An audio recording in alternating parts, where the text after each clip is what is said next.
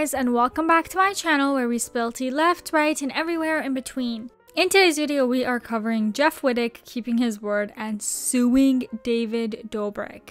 James Charles actively and very vocally recruiting new besties via the DMs and Emma Chamberlain and her return to YouTube. We all know the series of events that unfolded after Jeff Wittek's accident, where he sustained possibly permanent damage to his eye after a poorly orchestrated stunt at the hands of David Dobrik and an excavator. There have been documentaries, podcasts, loss of friendship, and drama as far as the eye can see, you guys. After some time, Jeff dropped hints here and there about possibly pursuing some sort of legal action against David, and finally, the news has dropped that he has kept his word.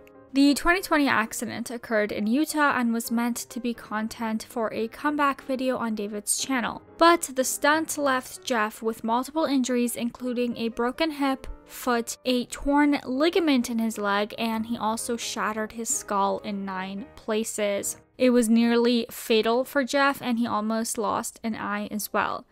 Jeff has come out a few times and spoken on this, saying that the real damage emotionally, besides nearly dying, was how David acted after the fact. Between not checking in, hospital payments being late, that David assured Jeff he would take care of, resulting in a hit to Jeff's credit, all around, Jeff just felt abandoned by David, like he just didn't care. David nearly killed me, came back to Poston immediately while I had my face smashed in, lost all my jobs, couldn't work for a year, and posted like nothing never happened, doing TikToks, doing house tours. David did eventually speak about it all on an episode of the Views podcast that he has, but it still seemed a bit too little too late for Jeff.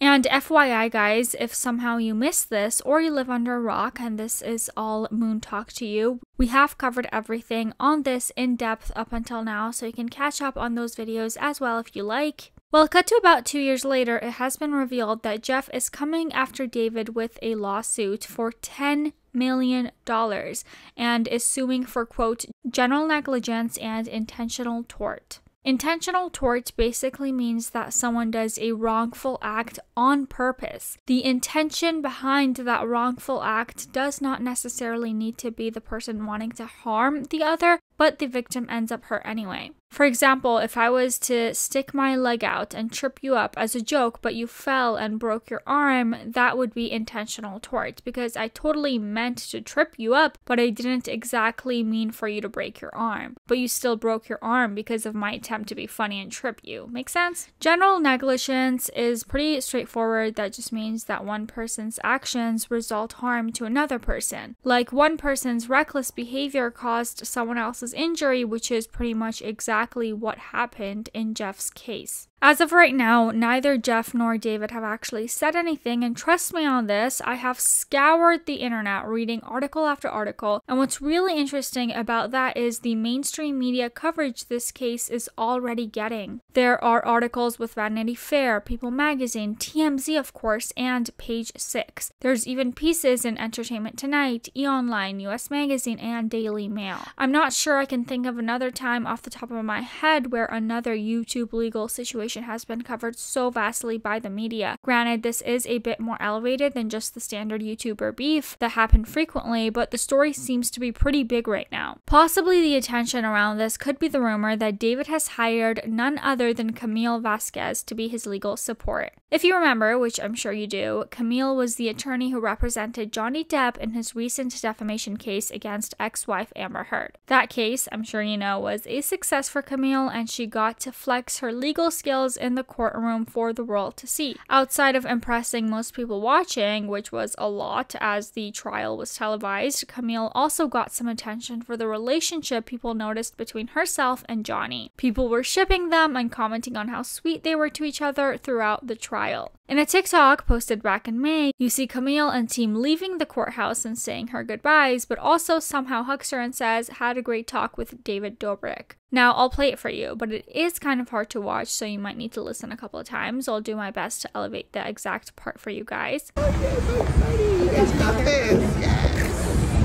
I'm here. I'm here. Hi, Ben. Sorry, how are you?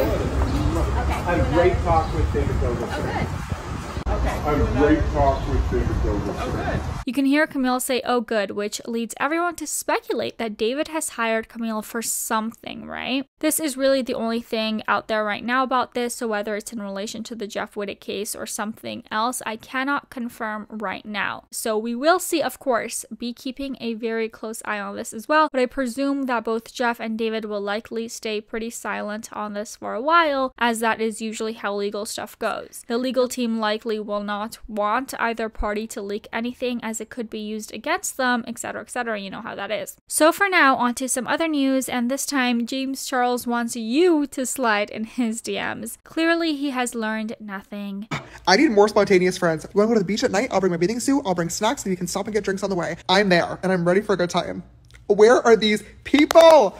Submit your application. James says that he finds it super hard to find good friends being an influencer or celebrity because you can just never know if you can trust people. It's really hard to meet new people because you don't know what their intentions are. You don't know, you know, what reason they're trying to get close to you. James is looking for spontaneous friends, as I guess his current ones, great as they are, are never down to just do stuff. Almost every single person in my life now, but are people that I have met either on the way up or at the top. So they're other influencers or people that I've been able to build trust with over a very long period of time. He reckons that his person is out there, but who knows if he'll ever find them because he could miss that opportunity while scrolling through his DMs. I just checked my DMs and I'm getting so many sweet messages from you guys being like, let's hang out. I'm in LA. Let's do this. Let's do this activity. I love the energy and I would love to hang out with you guys. I'm sure you're all so fucking fun. He doesn't mention anything about being 18 or older to apply for this friendship position, so I will just say it for him. Or you know what? Just don't slide in James's DMs. James claims to be looking for friends, and he has said before that he will no longer be treating social media as a dating app, but he also says that he could find his soulmate. I mean, you can have friend soulmates, I guess, but just, ah, don't do this. The dust has not settled on your last cancellation for this type of shit, James. Literally, what are you thinking? It kind of drives me crazy how James is just going about posting on the regular like he wasn't exposed for some pretty predatory style behavior in the past, like the recent past. I don't know. Who knows if James will even check those DMs and meet anyone and try this new friend search thing. On to some news of a YouTuber who people actually do seem to miss. Emma Chamberlain uploaded a new YouTube video for the first time in about six months, and people are excited excited. I had a little watch of this new video and I gotta say, Emma is so cute. She takes to the streets of New York in a very old school style, ask the public interview type of way, and does up a little sign that says, Let me ask you a question for my YouTube video. Are people gonna notice that this isn't plugged in? Because the second somebody sees a microphone, they're not like, Is that thing plugged in? They're like, Oh. You know what I mean? This is fucking public humiliation. She does some pretty basic questions like, Where's your favorite place to eat in New York? and kind of takes the people's suggestions and answers and forms her day in New York around them. During the winter, I'm like a vodka soda with lime, and then like during the summer, I'm a spicy marg. How cute are these pants? Stuff like that makes me totally lose my mind. Emma's video takes us on her New York adventure, including a trip down to the subway, which she doesn't actually want to get on. I would rather walk or just not go. I have a phobia of stepping onto the subway and accidentally falling underneath. Emma's vlog is really beautifully shot and it's just fun to go with her on her day around New York. The whole thing really is just a vibe. I'm like on my way to New York right now after watching this. No Empire State Building for her though. I'm just all about weighing out the pros and cons of things. If I have to wait in a two hour line, I'm just probably not gonna do it. There's just like certain deal breakers when it comes to activities for me. After some thinking, she changes her mind on hitting the top of the tower. I think that this might be a little bit overrated, and I'm saying that without going to the top. So if you're mad at me, that's totally valid because I haven't even gone to the top. Should we try to go to the top?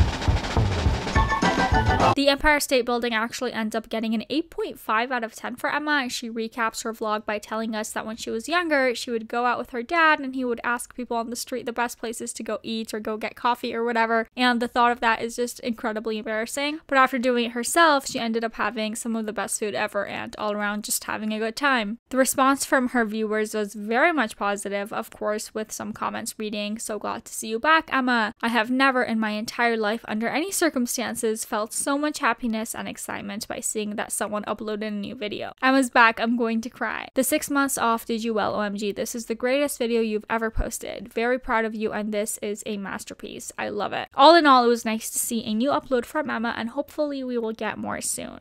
But anyway, guys, that is going to be it for today's video. Thank you so much for watching. Don't forget to give this video a thumbs up, subscribe to the channel, and hit that notification bell so you don't miss out on any new uploads. And in exchange, I give you eye bleach.